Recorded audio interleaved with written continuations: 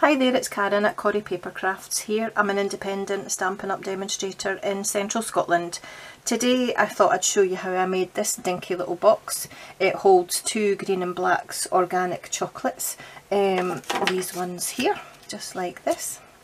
And I made it using some of the new products from the new Stampin' Up! annual catalogue which launches just in a couple of days now. I'm filming this on the Sunday before the catalogue goes live on Tuesday so I'm hoping I'll be able to get this video out to you later today, the same day. So this is using the um, Come Sail Away suite and if I could move this over beside Corrie to look after it for a minute I'll show you some of the bits if I can just sneak this in that I've got from the suite. I don't have the whole suite and the only reason that I didn't order the whole suite was because I got the stamp set and the trinkets that match at uh, Onstage. You'll have seen that in a previous video if you've watched my other videos. So I've still got a couple of things to get but only a couple of things. So if I could very very quickly just let you see the gorgeous, gorgeous designer series paper. I will take it out of the plastic because you're going to get nothing but glare. So I love this. Um, being from a sailing family, um, I really, really like this this suite. So as always the papers are double-sided. You get two sheets of each paper. So on the back of that one you have a, a, a sailing map of the world and I really like this as well some old newspaper cuttings um, with lots of sailing stories. And on the back of that some gorgeous ropes. And actually if you look I'm going to bring that back in it actually matches the rope stamp as well from the stamp set which is lovely I really like the stripy material. I actually sew tote bags as well and I've got fabric like this that I'm going to make um, for a fundraiser that the Sailing Club do every year for the Royal National Lifeboat Institute. So I'm going to make some bags with that and I'm going to make some bits and pieces for their stall using this suite as well. Some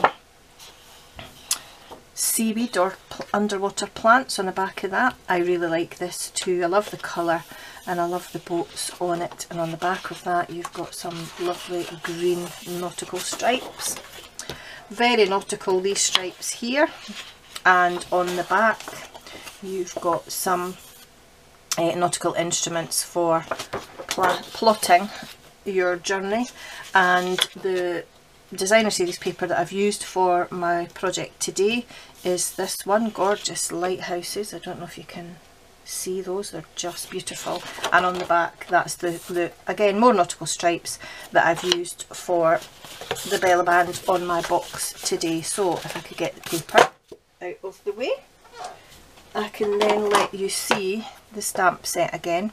Absolutely gorgeous. I've got a couple of things that I've already stamped from this and die cut. Um, if I can get a hold of it that is. That's the lighthouse there which is just beautiful. I've actually stamped it in Night of Navy onto very vanilla card just so that the the background wasn't a stark white and the compass as well. Just lovely so inside I can let you see that I've already um, used a few and I've popped their labels on the back. These are the new Cling style stamps so they're very very sticky so you need to be really careful when you take them off your block or even out of the box. Um, just very quickly we've got the dies here. Ship's wheel which doesn't match a stamp so you can just cut and um, because they're cut and emboss they actually emboss your shapes as well as cutting them the rope as well. Now I did have a little rope here that I could show you. I don't know how well you can see that but it cuts and it embosses the pattern on the dies as well which is great. You've got this die here which will fit round um, your sentiments and a little banner you've got a couple of boats two different sizes um, some hands for your compass um, some seaweed or underwater plants, a nice straight rope die here um, which you can use to cut out a strip for putting on a card and the anchor which we've also used in today's project which is just lovely. So that's very quickly the dies and gorgeous baker's twine which is in, um, oops, come off. This is Night of Navy and Very Vanilla which is just lovely. I like that as well and that's what I've popped on the top of my little anchor here. And last but not least, and I have shown you these already in a, a previous video, I'll take a couple out, are the little trinkets, some anchors and some ship's wheels. Just beautiful. I've not put one on today's box because I felt it was going to be a little bit too much. So without more chatting and now that I've shown you the suite what you're going to need for your box today is two pieces of cardstock and I've used Night of Navy for this. And for the base you want a piece which measures 4 and 3 sixteenths by 3 inches and a piece for the lid which measures 4 and a quarter inches by 3 and 1 16th um, instead of making the lid larger and the base smaller I find it works better if I make one edge of my base smaller and one edge of my lid larger. It seems to fit better which is why they've both got odd measurements and I'm sorry about the sixteenths but it's the only way the box really fits together and you need a piece of this gorgeous designer series paper which measures one and a half inches by five inches for the belly band. So all you need to do pop, pop your cardstock on your scoring board and you're going to score both pieces at 7 eighths of an inch on all four sides. So it's quite an easy one to remember um, in terms of the scoring. So all four sides on that piece and 7 eighths on all four sides on this piece as well. And that's all your scoring done so I will get the scoring board out of the way without whacking the tripod. And then all you need to do is fold and burnish on all your score lines on both pieces and then you're just going to cut your wedges on each corner to make the flaps to stick them both together. So now that I can't remember which is the base and which is the lid, you want to cut up these short score lines just to make that, make that horizontal score line on both sides of both pieces and again as always a straight edge on the longer part of your cardstock because this is going to be the bit that's visible so you want to take the score line off with what will be your flap on the inside and just a wedge on either side.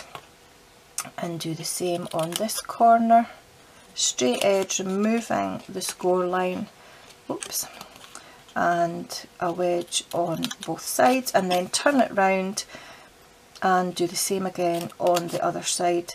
Normally when I'm making a square box particularly I turn it round each time and have a wedge on or a flap on each side. Again straight edge and removing the score line. I don't know if you can see the score line on here. But on this box it doesn't really matter. And if you find it easier to cut this wedge on the outside just turn it round and do it that way.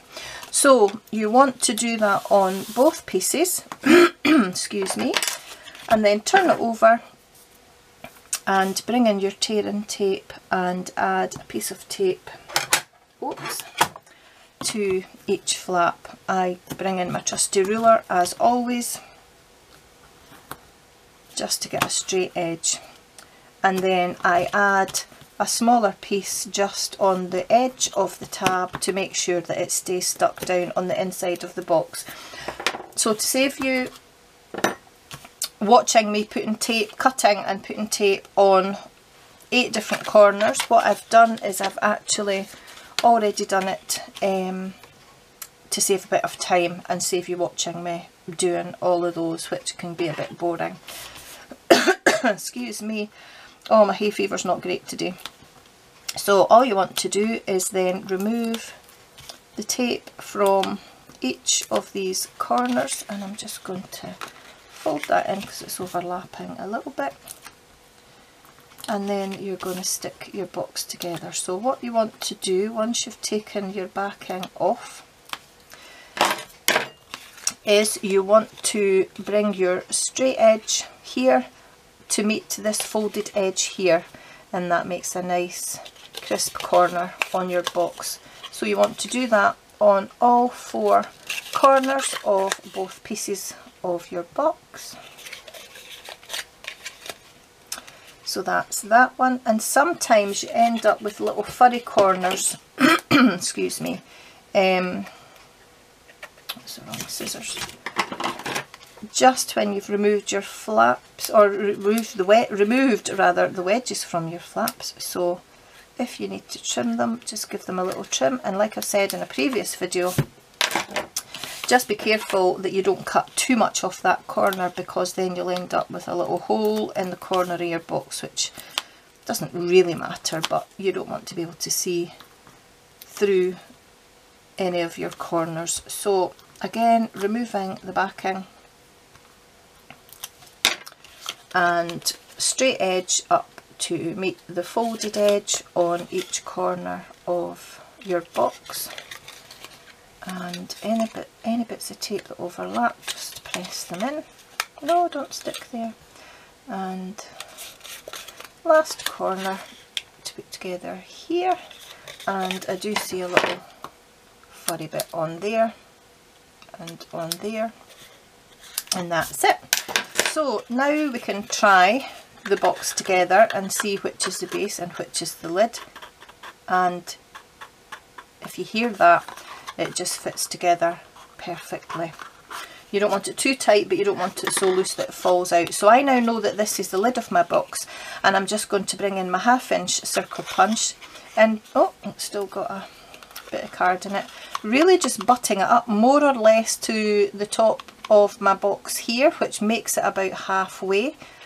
And that's just going to punch out a little finger notch. So just before I punch I just want to make sure that it's fairly even on either side.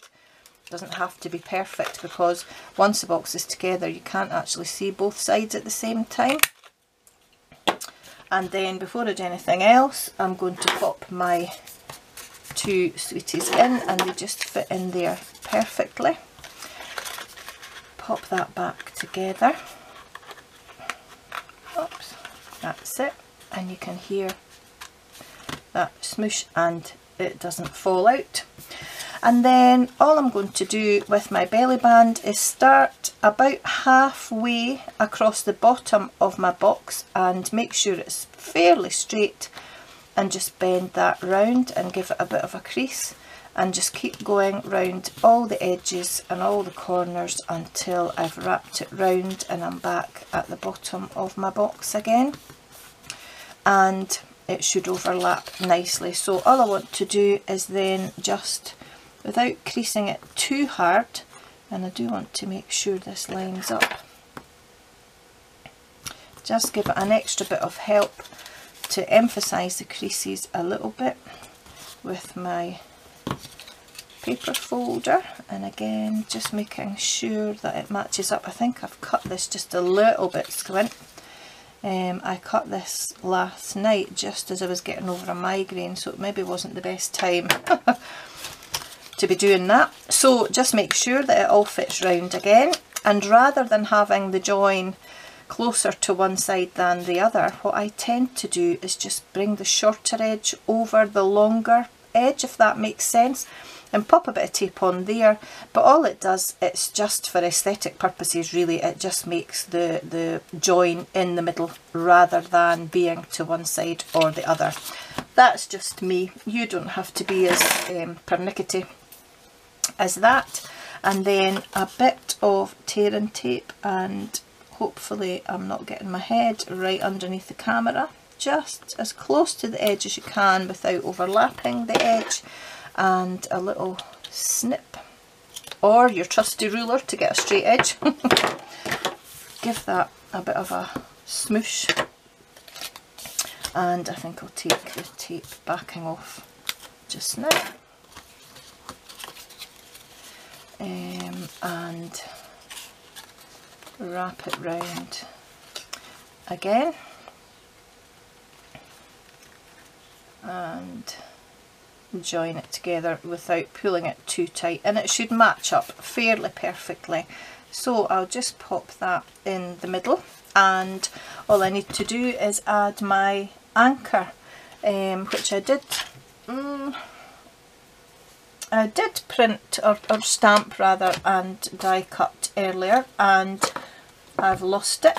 I think I've knocked it out of the way when I was showing you the bits of the suite. So if you just bear with me I'll pause the video and I'll go and look for it. I think it's maybe on the floor. I'll be right back.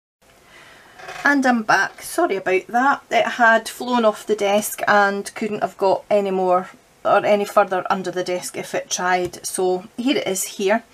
Um, I don't have an awful lot of room on my desk to show you how die cuts from the using the Big Shot because I've not got a lot of space but I will show you how well it stamps. So using a piece of Very Vanilla and my Night of Navy ink, I've already mounted the anchor stamp onto a block. This is a C block.